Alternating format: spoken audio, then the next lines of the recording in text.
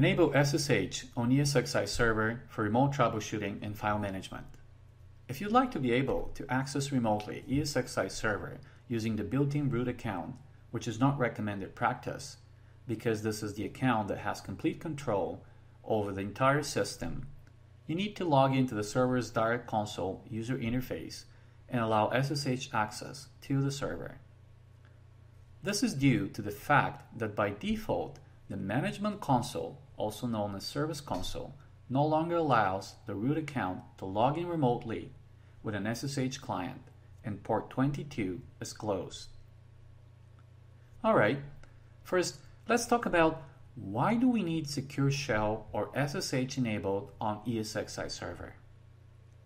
The primary reason is to be able to remotely execute CLI commands.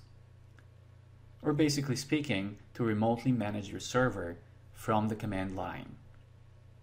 For example, say we've lost control over a virtual machine and we can't shut it down. We can use SSH to remotely log in as an ESXi server and execute a shutdown command from the command line. So if this is the case, you need to enable SSH on the server first before you can actually run the command remotely. Now, reason number two.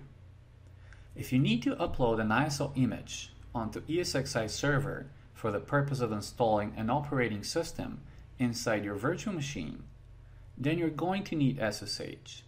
There is an alternative way of uploading ISO images, but we will talk about this alternative in the next movie.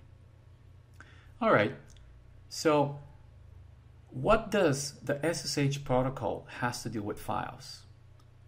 Well, SSH File Transfer Protocol, also known as SFTP, allows you to access ESX, ESXi files, do file transfer, and manage files. For example, you can delete or rename files. SFTP is an extension of the SSH protocol and it has been designed to provide secure file transfer capability.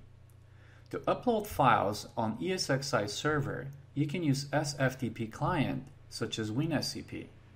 We're going to show you how to upload ISO files with WinSCP in the next movie, so bear with me and we'll get to that part. Now, back to our main objective. How do we enable SSH? In order to enable SSH, we need to use a keyboard and monitor directly attached to our ESXi host.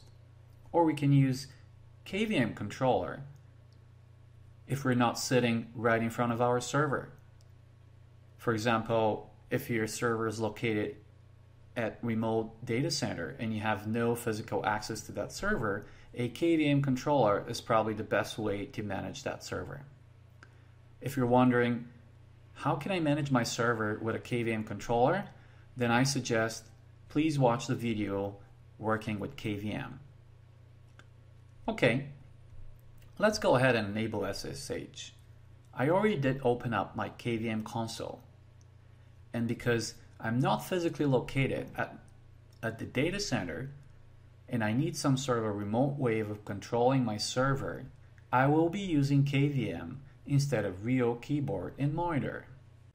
The first thing that I'm going to do is to log in to the DCUI or the Direct Console User Interface of my ESXi host by pressing F2. And then I'm going to enter my username and password. And then I'm going to hit enter.